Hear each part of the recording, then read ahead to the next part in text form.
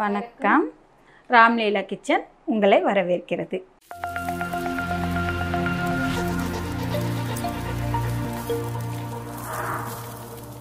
இன்னைக்கு என்னம்மா ஸ்பெஷல் இன்னைக்கு வந்து தந்தூரி சிக்கன்மா நம்ம வீட்டு ஸ்டைலில் வீட்டு ஸ்டைலில் எளிமையான முறையாக செய்கிறோம் சாக்கோல் வச்சு பண்ணுறோம் அப்போ இனி ஹோட்டலில் வாங்க வேண்டாம்? வாங்க வேண்டாம் நம்மளே பண்ணலாம். நல்லாயிருக்கும் நல்ல டேஸ்ட்டாக இருக்கும். நான் ஒன்று ஒன்றா போட்டு செஞ்சு காட்டுறேன் பாருங்கள் இதுக்கு என்னென்ன தேவையான பொருள்னு நான் சொல்கிறேன் இது தந்தூரி மசாலா ஒரு நாலு ஸ்பூனு தயிர் சில்லி பவுடர் இஞ்சி பூண்டு paste kasuri methi lemon salt கொஞ்சம் நெய் சேர்த்துக்கணும். நெய் சேர்த்துக்கிட்டா தான் அந்த ரோஸ்ட் ஆகும்போது நல்ல டேஸ்ட்டு கொடுக்கும். இது வந்து கொத்தமல்லி நிறைய போடணும். அப்போ தான் அந்த நல்ல ஒரு ஸ்மெல்லு வரும் நல்லா இருக்கும் இப்போ ஒன்று ஒன்றா போட்டு பிசைஞ்சிடலாமா? இது வந்து சில்லி பவுடர். கொஞ்சம் காரம் நல்லா சு காரம் வேணும்னா கொஞ்சம் சில்லி பவுடர் போட்டுக்கலாம். இது வந்து கஸ்தூரி மேத்தி. கொஞ்சம் நல்ல பொடியாக இது பண்ணி கசக்கு கசக்கு கசக்கு கசிக்க கசிக்க போடணும். இஞ்சி பூண்டு பேஸ்ட்டு. இது வந்து ஒரு கிலோ கறிக்கு நான் ஒரு ரெண்டு ஸ்பூனு இஞ்சி போட்டு பேஸ்ட் பண்ணுறேன் அப்புறம் கொஞ்சம் இதில் சால்ட் இருக்கும் இந்த மசாலாவில் சால்ட் இருக்கும். ஆனாலும் கொஞ்சம் சால்ட்டு சேர்த்துக்கணும். கொஞ்சம். அவங்கவுங்க தேவைக்கு ஏற்றாப்புல சால்ட்டு சேர்த்துக்கணும். அப்புறம் வந்து நெய். இந்த நெய் வந்து அது ரோஸ்ட் ஆகி வரும்போது இந்த நெய்யோடு ரோஸ்ட் பண்ணும்போது நல்ல டேஸ்ட் கொடுக்கும். இது வந்து தயிர். தயிர் நல்லா அரை கப்பு ஸ்பூனில் கொத்தமல்லி. நம்ம எவ்வளோ கொத்தமல்லி போடுறோமோ அவ்வளோவும் நல்ல டேஸ்ட்டாக இருக்கும். நல்ல ஒரு கிலோ சிக்கனுக்கு நல்ல பெருசாக ஒரு லெமன்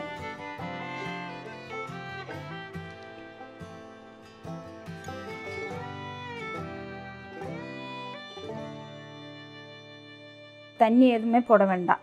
அந்த தயிர் இதுலேயே நல்லா பிசைஞ்சு அரை மணி நேரம் ஊற வச்சிடணும்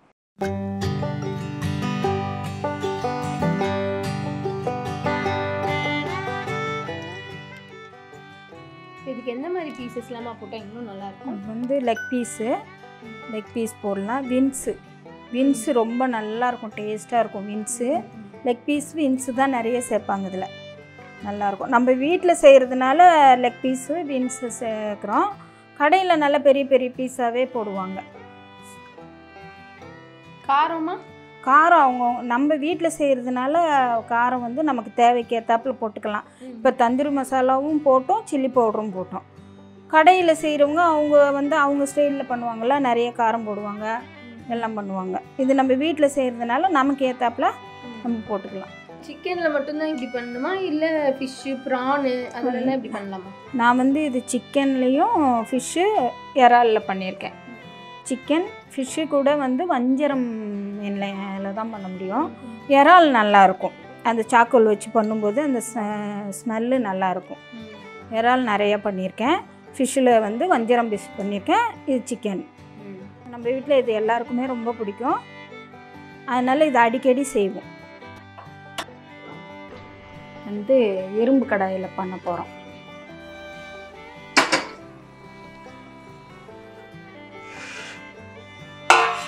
இது நல்லா ஊறிடுச்சு. இப்போ பண்ணிடலாம். தேவையான ஆயில் ஊற்றிக்கலாம்.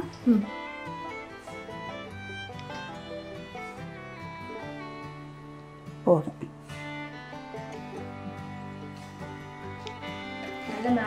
நல்ல மேலே 嗯。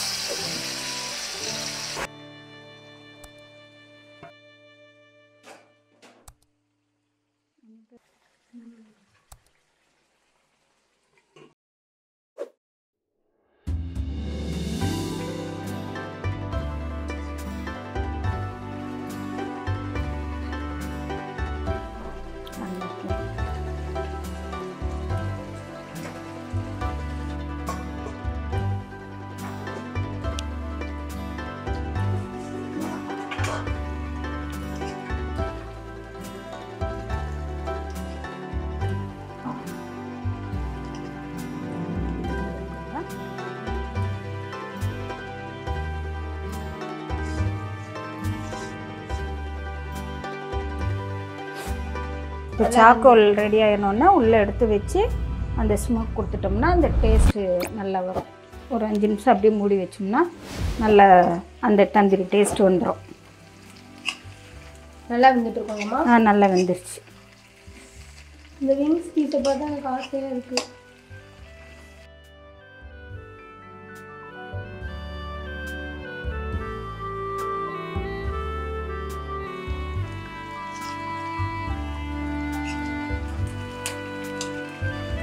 சென்ட் பண்ணிக்கலாமாம்மா இப்படியே ம். இருக்குமா?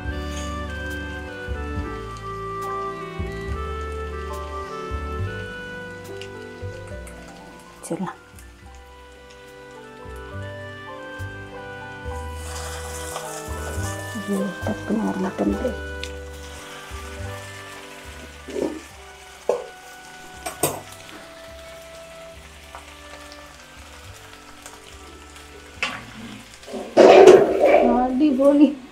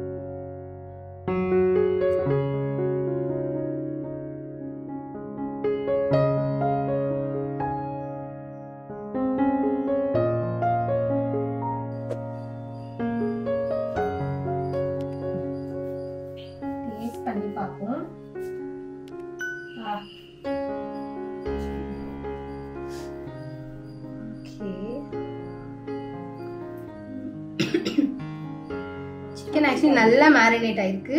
நல்லா வருது. இது பார்த்தாலே தெரியும்னு நினைக்கிறேன். நல்லா இருக்கு.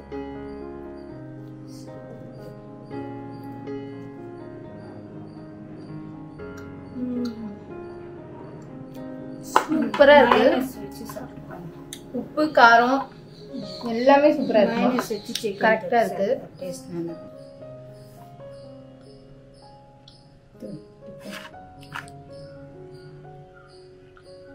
நல்ல சாஃப்டா இருக்கு ம் சூப்பரா இருக்குமா? நல்லா இருக்கு.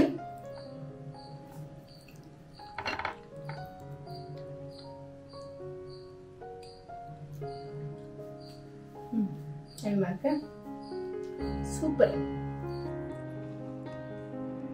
ரொம்ப நல்லா இருக்கு.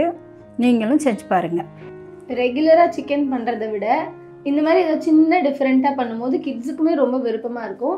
என்னைக்காவது ஜென்ட்ஸ் லீவில் லீவில் வீட்டில் இருக்காங்கன்னும் போது ரொம்ப விரும்பியும் சாப்பிடுவாங்க. ஹோட்டலில் வாங்குறத விட இது ரொம்பவே நல்லா இருக்கு. ஸோ ராம்லீலா கிச்சனை சப்ஸ்கிரைப் பண்ணி வச்சுக்கோங்க. இந்த மாதிரி ரெசிபீஸ்க்கு லைக் பண்ணுங்கள் ஷேர் பண்ணுங்கள் மறக்காமல் கமெண்ட் பண்ணிடுங்க.